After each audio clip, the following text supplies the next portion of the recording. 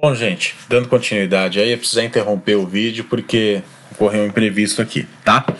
Bom, dando continuidade é o seguinte, eu tinha comentado com vocês que esse botão de administração, quando você clica nele, o comando application.login, ele abre a tela de login e senha.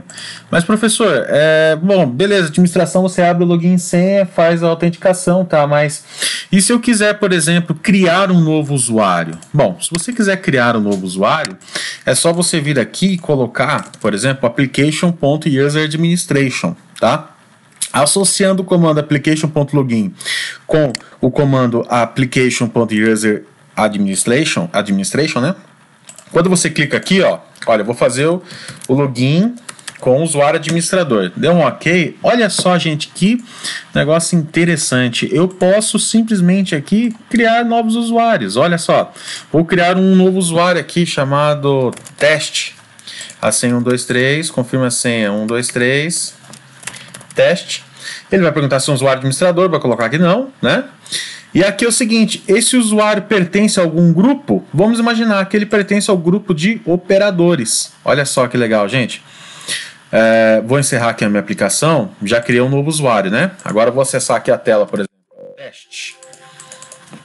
Teste. 1, 1, 2, 3. Opa, é teste. 1, 2, 3. Ah, olha só. Ele acessou a tela, ou seja, com esses dois comandos aqui, application.login e application.useradministration, simplesmente você consegue criar aí, né, um as suas telinhas, a, você consegue abrir aquela tela de administração de usuário, né, que, que eu tenho aqui, arquivo, usuários, ou seja, essa telinha aqui aparece para o, o cliente, que eu acho que é muito interessante que essa tela apareça para o cliente, né. Só que, bom, como vocês viram, né, gente, para que, para que o cliente possa criar novos usuários, é necessário que ele tenha os grupos pré-definidos, né? Bom, outro comando que é bem interessante também aqui, galera, é o comando application.logout, né? O application.logout, como o próprio nome já diz, ele faz um logout no sistema, né? Então vou colocar aqui, por exemplo, é, um, um botãozinho aqui chamado de logout, tá? E vou colocar o comando application.logout, tá? Vou colocar um novo script quando clicar e o comando application.logout. Olha só. Primeiro eu vou fazer um teste aqui, ó. Admin 1, 100, 1, 2, 3, tá? Bom, toda vez que eu clicar aqui em, em administração, bom, ele vai pedir admin 1, opa, admin 1, 2, 3, ok? Fiz o login. Vocês perceberam aqui, se eu quiser clicar em tela, na, na tela 2, ele acessa justamente porque eu fiz login, né? Agora olha só. Deixa eu fazer o seguinte, na tela 2 eu vou colocar aqui um botãozinho para voltar para a tela inicial, senão não vou conseguir, toda hora tem que ficar voltando, né? Então vou colocar um botãozinho aqui chamado tela inicial, tá? E aqui ele vai voltar para a tela vou voltar para a tela inicial. Pronto. Vamos lá. Bom, vou acessar a tela aqui, certo? É, vou entrar com o usuário Samuel. A senha 1, 2, 3. Bom, tô acessando a tela, bonitinho, volta para a tela inicial. A partir do momento em que eu fiz o login, bom, já está liberado, né? O acesso está liberado aí. Agora, olha só, gente, ele não está pedindo mais a senha. Agora, se eu clicar em logout, ó, ele volta a pedir a senha. Ou seja, é muito importante que você coloque esse botãozinho de logout justamente para que o usuário possa né, quebrar a sessão de sistema, ou seja, quebrar o login aí do sistema. Né? Então é legal que você coloque esse botãozinho de logout em todas as telas, ok?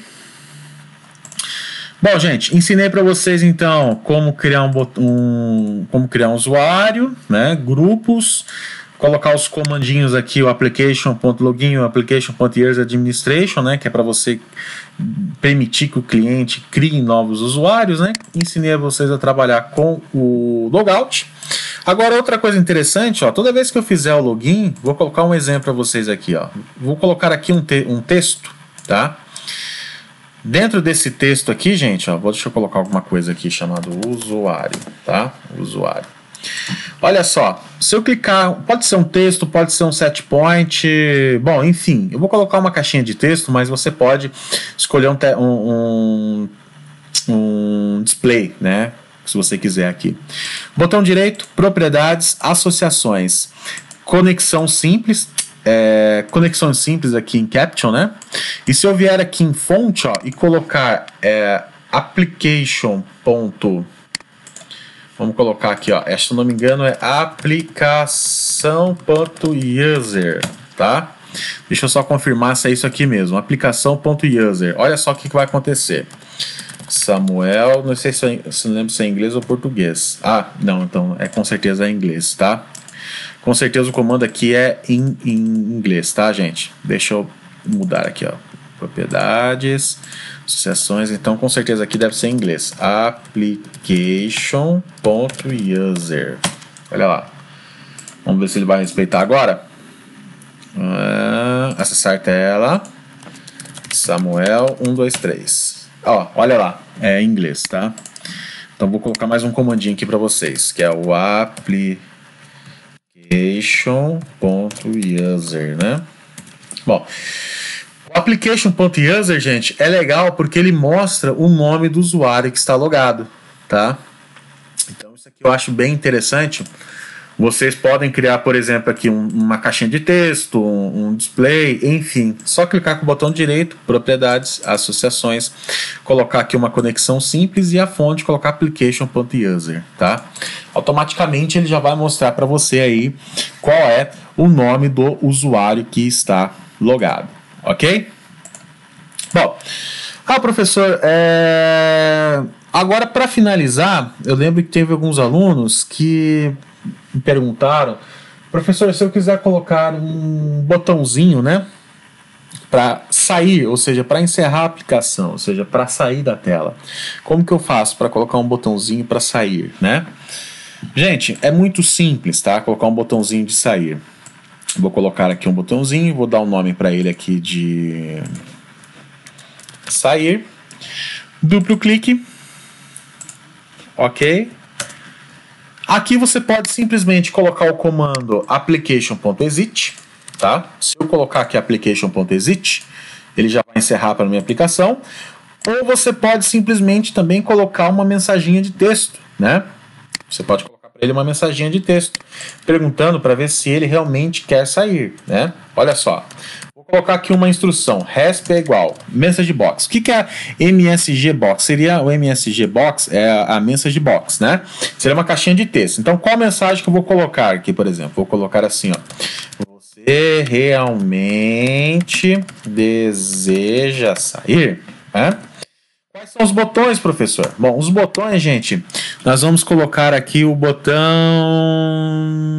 Deixa eu achar aqui. Quais botões que eu vou querer? Eu vou querer o botão Yes, No. Cadê? Yes. Deixa eu achar ele. Vamos achar aqui. Depois eu vou disponibilizar esse arquivo para vocês também, tá? Ah, cadê? Ah, tinha uma tabelinha bonitinha aqui, rapaz. Cadê? Yes. Ok, ok. Hum.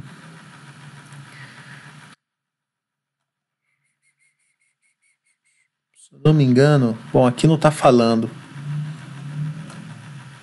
Mas é o botão. Vamos colocar aqui. É o botão Yes, No. Se eu não me engano, é esse cara aqui mesmo, ó. O botão Yes, No e eu vou colocar esse ícone aqui, ó, de exclamação, VB exclamation, tá vendo? Vou colocar aqui uma configuração, ó. VB exclamation, mas botão yes, no. O título aqui eu vou colocar minha aplicação, seria o título, né, da janelinha, tá? E aqui eu vou colocar uma estrutura condicional, ó. Se a resposta do usuário for, por exemplo, yes, bom, o yes, gente, se ele clicar no yes, ele vai falar que é o número 6, né? Então vamos lá. Se ele clicar, por exemplo, no yes, ele vai responder com 6. Então, se a resposta do usuário aqui for, da resposta que o usuário clicar aqui for yes, que é o 6, como vocês podem visualizar aqui na tabelinha, né? Eu vou colocar o application.exit, ou seja, ele primeiro vai perguntar se o usuário realmente quer encerrar a aplicação, tá? Vamos fazer um teste aqui. Vou clicar em sair. Ó, ele perguntou, tá vendo o título? A minha aplicação, você pode personalizar do jeito que você quiser aqui. Ele fala, você realmente deseja sair? Se eu colocar não, não acontece nada. Agora, você realmente deseja sair, se eu colocar sim, gente, ele encerra a aplicação, tá? Então, eu vou até deixar isso aqui para vocês, gente, ó, nesse, nesse arquivinho aqui, eu acho bem legal. Vou deixar para vocês aqui esse arquivinho, que esse arquivinho seria um, o que eu usei aqui em termos de código, né? São os comandos que eu utilizei e aqui também o código que eu usei aqui para trabalhar com o VB Script aqui, né? Então vou deixar disponível para vocês. Bom, gente, basicamente uh, a criação de usuário é isso aí, tá? Não tem nada além disso, tá bom? Em relação à tarefa variativa dessa semana, o que eu vou pedir para vocês? Vou pedir para vocês simplesmente pegar o projeto que vocês já desenvolveram aí, estão desenvolvendo, né, na verdade, ao longo do semestre, e acrescentar esse recurso, que seria a parte de autenticação, tá? Vocês podem criar uh, vários níveis, bom, enfim, misturem aí. Vocês podem aí criar diversos níveis, diversos usuários. Ou seja, personalizem o projeto de vocês utilizando essa, essa, esses conceitos que eu, que eu acabei de, de ensiná-los, né? Depois que vocês inserir, por favor, posta lá para mim no portal os arquivos para eu dar uma, uma analisada, né? Essa então vai ser a tarefa avaliativa dessa semana, que vai valer alguns pontinhos, tá bom? Não vou ficar aqui é, definindo quantidade de usuários, quantidade de grupos, se vai ter grupo de usuários, se não vai, como que vai ser, enfim. Eu vou deixar livre para vocês. Eu ensinei um recurso tecnológico, agora eu quero que vocês apliquem esse recurso tecnológico, ou seja, eu quero que vocês apliquem esse recurso do software escada dentro do projeto aí de vocês, tá? Como que ele vai ser? Bom, vai depender do projeto de vocês em si. Então vocês criem aí uma lógica de autenticação que seja melhor para o processo aí de vocês, tá bom? Bom, gente, vou ficar por aqui. Se tiver alguma dúvida, por favor, entre em contato. Forte abraço.